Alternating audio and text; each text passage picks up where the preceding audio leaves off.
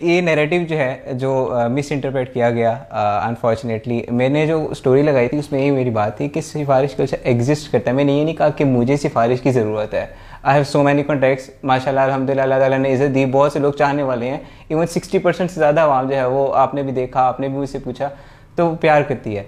Point is के हमने इसी नैरेटिव को चेंज करना है कि हर बंदे को सिफारिश की क्यों ज़रूरत पड़ रही है? अगर मैं जा रहा हूँ जॉब के लिए अप्लाई करने के लिए, कोई बंदा मेरा सी देखे उसको देखे उसको पढ़े फिर उसके बाद जाके अप्लाई किया तो उसको बुलाए।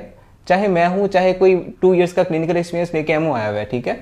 और फिर उसके बाद इंटरव्यू हो और मुझे सेलेक्ट ना किया जाए इट डजेंट मैटर क्योंकि एक जो मेरिट है वो प्रिवेल कर रहा है। मैंने यही बात की थी उसमें भी और स्टोरी में भी कि मेरिट को प्रिवेल किया जाए। ये नहीं कह रहा कि मुझे जॉब मिले या ना मिले क्योंकि मे, मेरे लिए बहुत सी चीज़ें हैं मतलब अगर मैं जाऊँ तो मैं अभी फॉरन बाहर भी जा सकता हूँ ऑफर्स आती रहती हैं इट डजेंट मैटर जो चीज़ मैटर करती है वो ये करती है कि आप अपने स्टांस से ना हटो अगर आप अल्लाह ताला ने आपको इज़्ज़त दी है तो आपने इस चीज़ को बरकरार रखना है कि आप अपने स्टांस पे कायम रहो। और वही मेरा अभी भी है और बाद में भी इंशाल्लाह रहेगा कि चाहे जो भी हो आपका इंटरव्यू होना चाहिए और फिर उसके बाद अगर आप सेलेक्ट होते हो तो वेल एंड गुड नहीं होते तो इट डजेंट मैटर लेकिन ये जो सिस्टम है आपने भी नोटिस किया होगा कि प्रोफेसर किसी कंसल्टेंट जो है वो अपने जो भी प्राइवेट होता है हम्म। उसको कह देता है कि यार रख लो इस बंदे